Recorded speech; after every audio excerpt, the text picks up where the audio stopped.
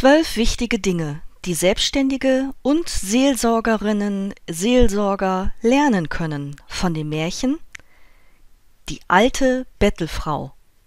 Ein Märchen bewahrt durch die Gebrüder Grimm. Erstens. Nimm nichts Schlimmes hin, nur weil du es schon kennst. Zweitens. Denke daran, dass es eine höhere Gerechtigkeit gibt.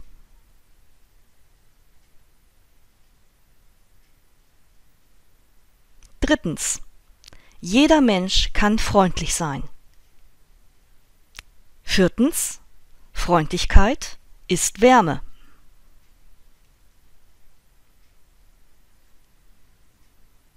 Fünftens. Wer Wärme zu lange entbehrt, geht größere Risiken ein, um ihr nahe zu sein. Sechstens. Risiken sind mit Gefahren verbunden. Siebtens. Wer kein Risiko eingeht, steht nur daneben, aber nimmt nicht am Leben teil. Achtens.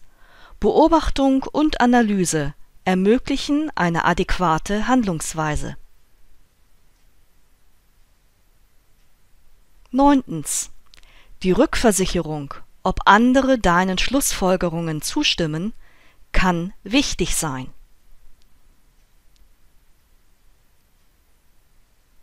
Zehntens. Doch Zustimmung Dritter ersetzt nicht die eigenen Handlungen.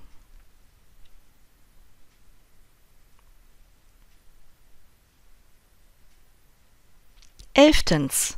Tue das, was erforderlich ist.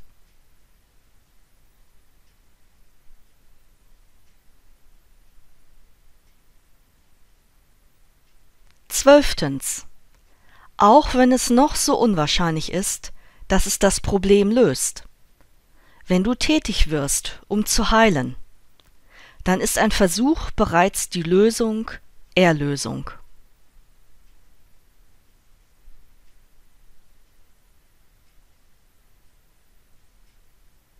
Das waren Schlussfolgerungen für Selbstständige und Seelsorger, Seelsorgerinnen zu Die alte Bettelfrau, ein Märchen bewahrt durch die Gebrüder Grimm. Vorgetragen von Carmen Splitt, Social Media Coach, Bloggerin, Kreuzspinnerin